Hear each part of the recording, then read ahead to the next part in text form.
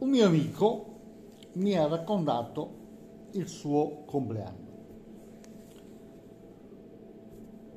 Il giorno del suo compleanno mi racconta che si alza e scende giù e la moglie non gli dice niente. Vede i suoi tre figli, nessuno le dice niente. Va in ufficio e tutti i suoi colleghi non le dicono niente. Va nella sua stanza d'ufficio e la segretaria dice buongiorno capo, tanti auguri. E lui si è sentito veramente realizzato di aver ricevuto gli auguri dalla sua segretaria.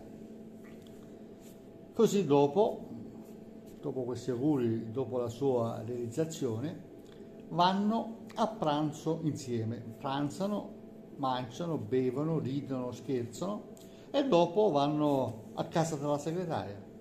Entrano a casa, sono seduto sul, sul divano, nel salotto, e lei dice, eh, eh, scusi, permetti che vado un attimo in bagno, 5 minuti?